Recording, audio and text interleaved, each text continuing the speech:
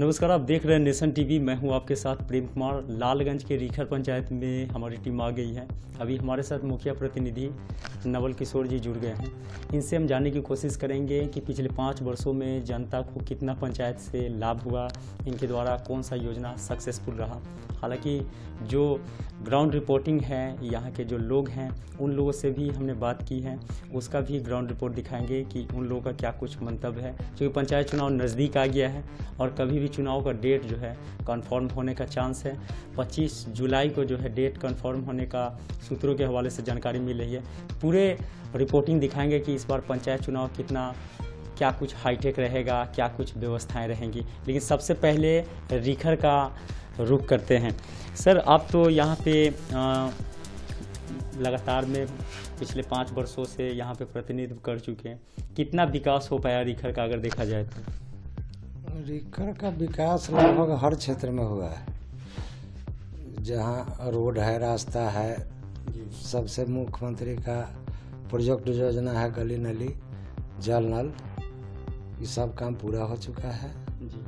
और जहाँ तक संभव हो सका मैंने चाहे वो गैस कनेक्शन दिलवाने का काम हो फ्री फ्री गैस कनेक्शन दिलवाने का काम हो फ्री बिजली दिलवाने का काम हो या कहीं कोई गड़बड़ी होता है तो तत्क्षण हम विभाग से संपर्क करते हैं और उसका मैंने निदान भी होता है।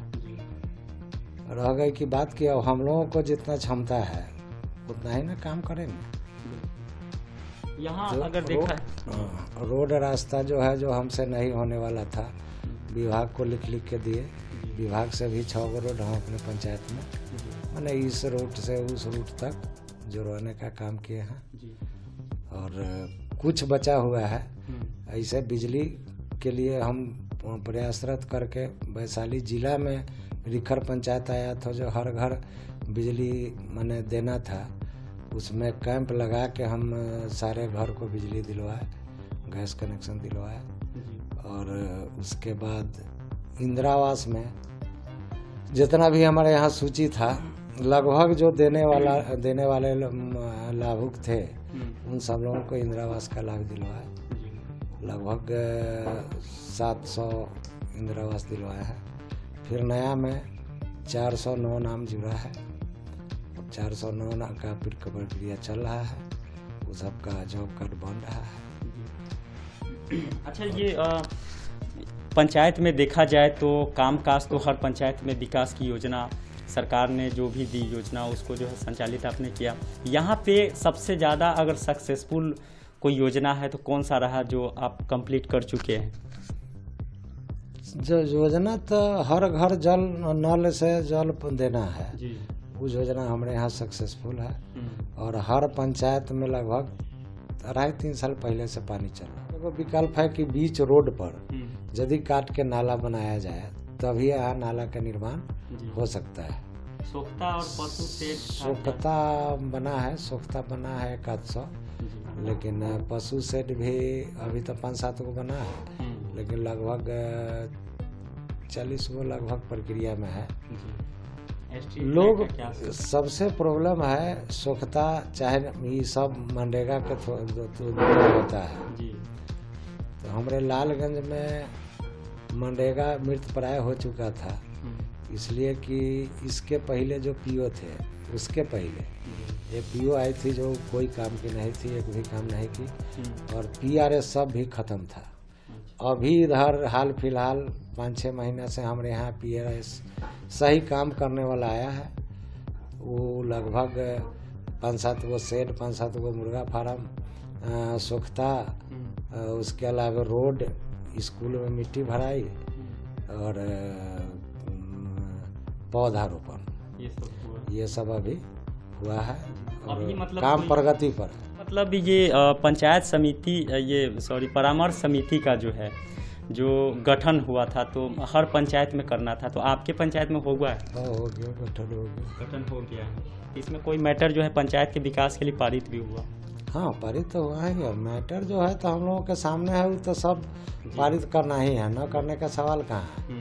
अभी भी हम लोग लेकिन चूँकि अब जैसे मनरेगा से तो पंद्रह जून के बाद मिट्टी भराई काम बंद हो गया।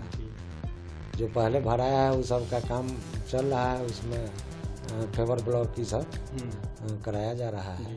अच्छा ये प्रस्ताव जो है ये बस पड़ाव का जो है हर पंचायत में एक बस पड़ाव जो है बनाना है। तो आपके पास प्रस्ताव भी आया है उसके लिए सरकार सरकार और पंचायत चुनाव अगर देखा जाए तो हाईटेक होने जा रहा है ईवीएम से पंचायत चुनाव होंगे। क्या लगता है चुनाव पहले की अपेक्षा बेहतर निकलेगा?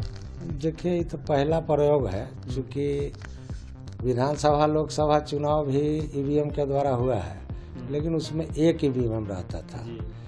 और इसमें चार चार ईवीएम रहेगा। तो थोड़ा सा मैंने कम पढ़ा लिखा हुआ मतदाता जो है उसको पंचायत सचिव तो उनके अंडर में है। पंचायत सचिव को प्रेशर बना के ऊंचाई दिवा दिए। लेकिन वैसा जगह पर पंचायत सरकार बना है एक तो उस सबसे आउटसाइड में है पूरा टार पंचायत के सामान पर है। जहाँ जाने के लिए सुविधा भी नहीं है बढ़िया। दूसरी बात है कि पंचायत भवन जो बनी पंचायत सरकार भवन उसके चारों तरफ़ से कोई रास्ता नहीं है पंचायत सरकार भवन में जाने के लिए। आउटर जगह पे बनेगी आउट जगह पर है। वहाँ दारू का अड्डा जुआ का अड्डा चलता था। फिर बीच में हमको पता चला तो पुलिस उलिस को भेज के उसको कम कराए। लेकिन वो बैठने लायक है ये नहीं है पूरा ज़मीन धंस गया पूरा सब ढह रहा है ढनमना रहा है टंकी कहीं उड़ के चल गया। एक साइड में है कोई देखने वाला नहीं है। इस बार पंद्रह अगस्त को झंडा कहाँ फहरेगा? वहाँ फहरेगा? नहीं पंचायत भवन में हम फहराते हैं। अच्छा यहीं पे। हाँ, पंचायत भवन यहाँ है। इस पंचायत श्रावण और बकरीद भी कल है। क्या शुभकामना देंगे पंचायत वासियों पंचायत वासी को शुभकामना तो हमारे तरफ़ से हर बार शुभकामना रहता है कि सब लोग शांतिपूर्वक अपना कोई भी पर्व त्योहार है चाहे वो हिंदू हो मुस्लिम हो हम्म, भाईचारा के साथ मिल के मिल व्यवहार के मनावे लोग। और इस बार तक खास करके चाहे वो कोरोना काल के चलते चाहे वो बकरीद हो हम्म, चाहे में ये क्या कहते हैं श्रावणी मेला हो इस पर सरकार के तरफ़ से तो प्रतिबंधे लगा दिया गया है। कि कोई भी जो है हम्म, मंदिर मस्जिद में नहीं जाएगा अपने घर पर अपना मनावे लोग। हालाँकि ग्राउंड रिपोर्टिंग में दिखाएँगे कि पंचायत में कितना विकास हुआ। हालाँकि लोगों का मानना है कि क्षेत्र में कई तरह की योजनाएँ जो है पंचायत में लागू हुई और उन लोगों तक पहुँची भी हैं। हालाँकि कुछ विपक्ष लोग हैं, वो कह रहे हैं, पंचायत में काम नहीं हुआ। लेकिन ग्राउंड रिपोर्टिंग में दिखाते हैं कि रीखर पंचायत का कितना विकास हुआ। के मैं प्रेम कुमार, लालगंज।